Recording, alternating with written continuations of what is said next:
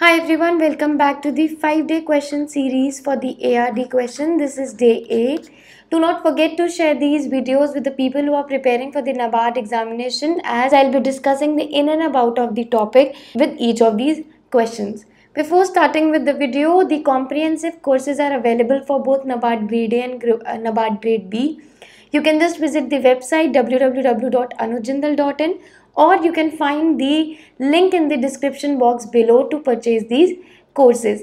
Now these are the gross amount of the courses. You can just use the coupon code NABARD20 that is N-A-B-A-R-D NABARD20 to avail the 20% discount on these courses. Now let's begin with the first question. So which of the following is the most unnoticed form of soil erosion? The options are splash erosion, rill erosion, sheet erosion, gully erosion. Now these all are the forms of water erosion and it's very important to know these subcategories.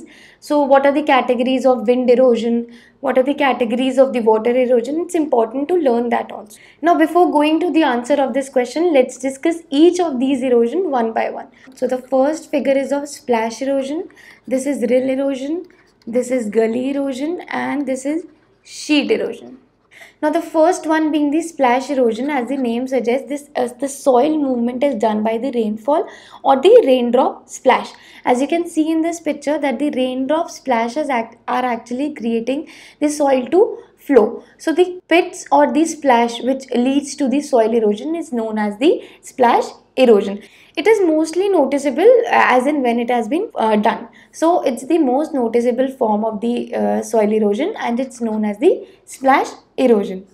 Next being the rill erosion. If you can see in this picture, this small channel which has been formed due to the water runoff, this is known as rill. And therefore, this kind of erosion, the soil which has been eroded is known as, is known as the rill erosion. Now this rill or this channel could be approximately 0.3 meter deep. The advanced stage of this rill erosion turns out to be the gully erosion. If you can see these are these are quite similar but it is more dangerous form of erosion as compared to rill erosion. Why? Because the channels here are deeper than the 0.3 meter depth.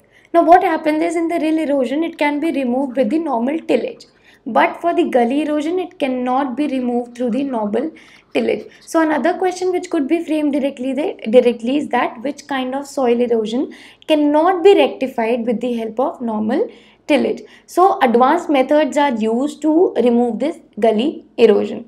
Now coming to the last form of water erosion that is the sheet erosion. So what happens is when the movement of the layer of the soil that is uniformly happens due to the uh, water runoff or due to the uh, because of the raindrop then it is known as the sheet drop. Due to the uh, feature of the sheet erosion being uniform it is not noticeable. Why? Because the whole uniform or bod the whole layer of the soil is removed with the uh, water runoff or with the help of raindrops. Therefore, this sheet erosion, as we come back to this question, so the sheet erosion is the most unnoticed form of soil erosion and it could harm in the long run.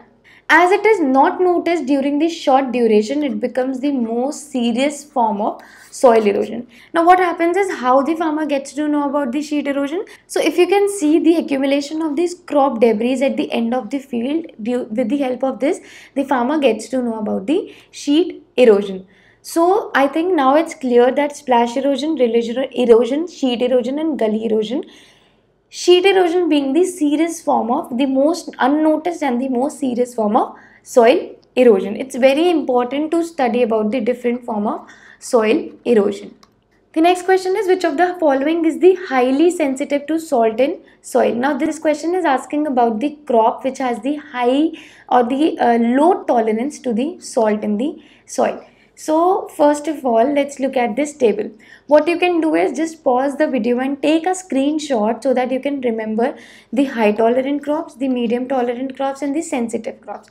Now these I have covered the important ones over here. Pause the video, take a screenshot and read each and every crop over here. So when we are talking about the field crops, the high tolerant crops are barley, tobacco and cotton. These are considered to be field crop. This means that if there is high amount of soil, high amount of salt in the soil, then these uh, crop would not be affected affected too much but at the same time if we talk about the pea groundnut moong urad gram these are the uh, crops which are highly affected with the amount of salt in the soil. Usually what happens is vegetables are not sensitive to the salt in the soil so they are appro they are usually salt tolerant. But still if we need to categorize them then the medium tolerant being the cabbage tomato onion carrot onion carrot potato and the high tolerant spinach sugar and sugar beet at the same time this is the same case with the fruits as well. Mostly the stone fruits the citrus fruits. This is very important. The citrus the citrus fruits, are sensitive to the salt in the soil. So strawberry is the highly sensitive uh, fruit we can say which is highly sensitive to the salt in the soil according to this table. The next question is choose the inappropriate option so these are different horizons of the soil. The first one being the organic horizon, it's correct. It is represented by O. Next A, the surface horizon, correct, represented by A. B being the subsoil horizon, represented correctly by B.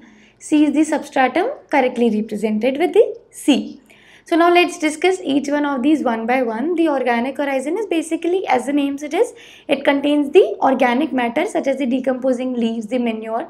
It is uh, known as the organic horizon, the topmost layer over here. Next is the A that is surface horizon also known as the top soil. So it is a good place for the organisms to live. The good material is provided to the plants through this horizon.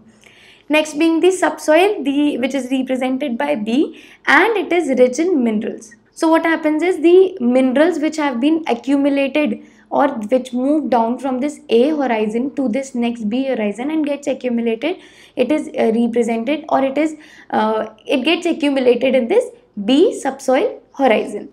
C being the substratum or we could say the parent material why it is known as the um, parent material? So whatever the deposits are there at the earth surface from which the soil is developed therefore it is known as the parent material. This is this defines the basic nature of the soil. Now there is one more uh, horizon over here the last one. So it is represented by the letter r. What it is called you need to mention that in the comment section below that what exactly is this R representing. Apart from this, there is one more horizon which is known as the E horizon. So along with the R horizon, tell me in the comment section below what does R and E in the soil horizon represent. The next question is the deficiency of which of the following leads to no flowering of fruit development. Very very important question. The first one being the iron, magnesium, calcium, boron and zinc. So these are the different nutrients. The first one being iron. So what happens is it's actually required for the nitrogen fixation because it's the catalyst for chlorophyll. Important to note the word catalyst over here. I'll tell you why. Now, as it works for the chlorophyll, so what happens is due to the deficiency of this uh, iron, the young leaves become the young leaves becomes yellow. So this is the disease which causes or we can say the deficiency of iron causes yellow leaves. Next being magnesium. Now it is the essential or the most essential constituent of chlorophyll. Constituent of chlorophyll. Now how does the iron is differentiated from magnesium. Now what happens is the iron is the catalyst of chlorophyll at the same time magnesium is the constituent of chlorophyll. Do you know that some leaves, some plants have purple leaves. Now this is because of the deficiency of magnesium in those plants. So basically it is the central atom of chlorophyll. The magnesium is the central atom of chlorophyll due to which the green color of the leaves develop. If we talk about calcium, so I have already discussed in the day 6 of the ARD question series. Do refer to that video. Next being the boron. Now what happens is there are different features of the boron and it is very essential for the pollen germination. Now as the name suggests pollen germination, so the deficiency of the boron leads to no flowering or fruit development. So the answer for this question is boron. So deficiency of boron actually causes the uh, causes the no flowering or no uh, fruit development in the plants. one more essential feature of boron is that it is the only non-metal in the micronutrients, the important micronutrients, it's the only non-metal. So a question might come regarding the only non-metal which is present in the micro as a micronutrient in the plant. Next is the zinc. So the deficiency of uh, zinc or we can say the zinc is required for the biosynthesis of hormones. So the biosynthesis of hormones is done with the help of zinc. Now what are the different diseases which are being caused with the help of the or which are being caused due to the deficiency of zinc? So the white bud of maize is caused due to the deficiency of zinc. A direct question can come on this that due to the deficiency of which disease white bud in the maize is caused or the Khaira disease of rice. So these are very important. You can just pause the video, take a screenshot of this and remember each one of the diseases and the nutrients associated with it. The last question is pH of alkaline soils is as I already discussed in the previous video that the pH level of soil is so above 6 it's more of alkaline and below 6 is it is more of acidic. So the high concentration of hydrogen ions makes the soil acidic and the low concentration of hydrogen ions makes the soil alkaline. Now very straightforward question pH of alkaline soil.